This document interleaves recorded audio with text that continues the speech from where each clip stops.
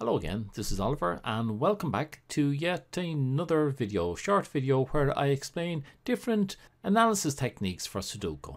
If you like my videos, be sure and give me the thumbs up and you might think of subscribing as well, be greatly appreciated. Now, this is an area that I love because it is a great way of solving puzzles when you're up against a brick wall. Now, what is a strong link and what is a weak link? A strong link is a link where you can go to one end of it and say, if this end is not true, then the other end is true. That is a strong link. But if you go to one end and all you can say is, if this end is true, then the other end is not true, that's a weak link. I'll say one more thing. A strong link can be used as a weak link, but a weak link cannot be used for a strong link.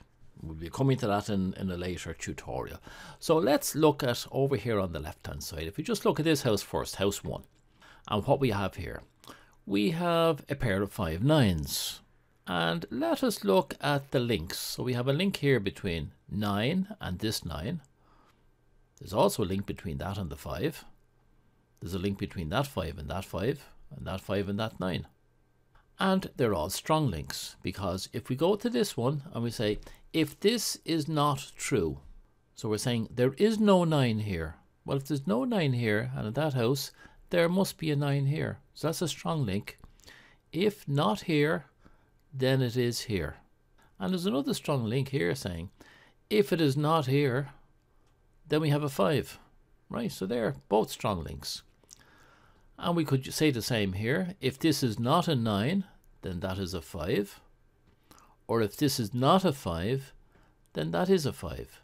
So they are all strong links. And just remember, we start off with the statement, if this is not, then.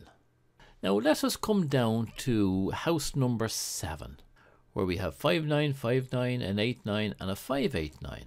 Now we can see here that there's two fives, always handy when you only have two to make a strong link.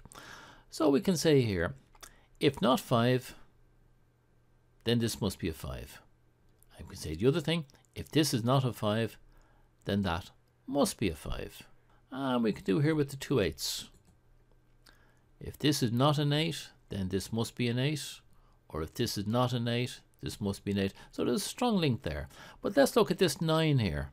If this is not a 9, we can say nothing about this. Or if this is not a 9, we can say nothing about this. So we know it's not a strong link. Is it a weak link? Well, we say if this is a 9, yeah, then that is not a 9.